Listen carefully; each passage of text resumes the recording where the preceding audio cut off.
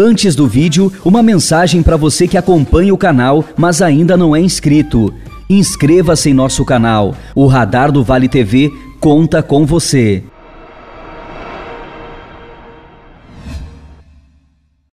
Na manhã desta terça-feira, 8 de agosto, um grave acidente terminou na morte de William Schutz, de 34 anos.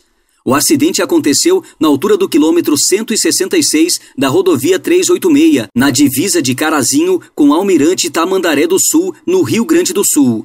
Segundo informações, era por volta das 6h40 da manhã quando ocorreu uma colisão traseira entre um veículo Palio Yukon com placas do padrão Mercosul e um caminhão com placas de Santo Ângelo. Os dois veículos trafegavam no mesmo sentido no trecho de pista dupla, quando, ainda por causas desconhecidas, o carro bateu com violência na traseira do caminhão que estava carregado de bebidas. Com a força do impacto, o condutor do carro, o William, foi ejetado para fora do veículo e não resistiu aos ferimentos, vindo a óbito no local antes da chegada da equipe de socorro. O motorista do caminhão não teve ferimentos. O carro ficou completamente destruído com a força da batida.